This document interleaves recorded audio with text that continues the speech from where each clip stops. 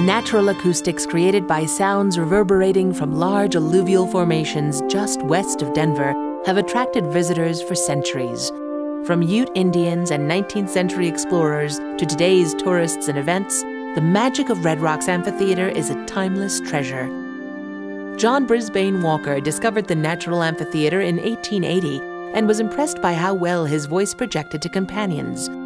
He predicted future concerts with great singers and thousands sitting on the hillside. In 1905, J.B. Walker Jr. bought the park for $5,000. He erected a stage, chartered trains from Denver, booked talent, and began the legacy of thrilling performers and audiences alike with the magic of the sound and the setting. The city of Denver bought the park from the Walkers in 1928, and in 1935, Mayor Stapleton's new director of parks and improvements, George Cranmer, began to realize his vision of music in the mountains.